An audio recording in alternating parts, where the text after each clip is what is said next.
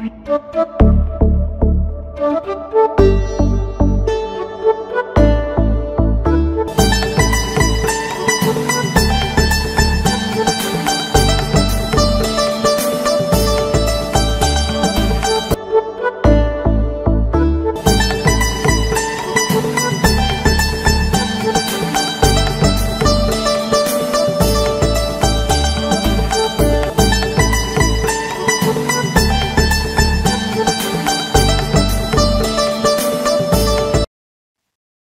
வணக்கம்.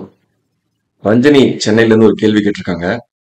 Is complete surrender of mind in it source அதாவது total mind called as mukti அதாவது மனம் அப்படிங்கிறது அதோட சோர்ஸ் அப்படிங்கிற அந்த டோட்டல் மைண்ட்ல போய் சரண்டர் ஆகுறது தான் முக்தியா அப்படிங்கிறது தான் அவங்களோட கேள்வி. அஹ், பக்தி மார்க்கத்திலையும் இந்த சரண்டர் சரணாகதி அப்படிங்கிறது பேசப்படுது. இப்போ ஐயா ஒரு இடத்துல அந்த டோட்டல் மைண்டுகள் பத்தி பேசுறாங்க. இந்த மைண்டுங்கிறது இந்த போராட்டத்தை அந்த மனஸ் மைண்ட் தமிழ்ல மனம் அது ஒரு போராட்டத்தை நிறுத்திட்டு அது எப்படி இயங்கணுமோ இயங்கட்டும்னு விடுறோம் இல்லையா? அது ஞானம். அந்த புரிதல் இருக்குல்ல மனசை அதோட போக்கில் இயங்க விடுறதுங்கிற புரிதல் அதுதான் ஞானம். அந்த ஞானத்தை நம்ம அடைய முடியும். நல்லா புரிஞ்சுங்க அந்த ஞானத்தை நம்ம அடைய முடியும். அது வந்து ஒரு ஐயா சொல்ற மாதிரி ஒரு இன்டலெக்சுவல் அண்டர்ஸ்டாண்டிங் அல்லது தமிழ்ல ஒரு அறிவுபூர்வமான புரிதல். சோ அந்த புரிதல்ங்கிறது எல்லாருக்கும் சாத்தியம் எல்லாருக்கும் கிட்டும் அஹ் நிறைய பேருக்கு கிடைச்சிக்கிட்டு இருக்கு. இந்த ஞானம் அடையிறது மட்டும்தான் நம்ம முயற்சியில அது கூட நம்ம நம்ம புரிதல் தான். முயற்சிங்கிற சொல்றது அதுல புரிதல் தான். அப்படி இல்லை அதுல நமக்கு சாத்தியம். அதுக்கப்புறமா இந்த ஞானம் அடைஞ்சதுக்கு அப்புறம் ஒரு நிகழ்வு நடக்குது. நம்ம மனசு வேற ஒரு பரிணாமத்துல இயங்குது. அந்த இயங்குற போது என்ன ஏற்படுதோ அது பேரு தான் முக்தி விடுதலை வீடு பேரு.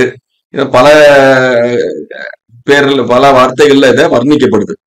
சோ அந்த அந்த முக்தி அல்லது அந்த அந்த அந்த வீடு பேரு அல்லது அந்த இந்த அது என்ன சொல்றது அது அந்த அந்த- வீடு என்னெல்லாமோ சொல்றோம் விடுதலை. அதெல்லாம் சொல்றோம் இல்லையா? இது எல்லாமே நம்ம முயற்சி எடுத்து அடைகிற விஷயம் கிடையாது.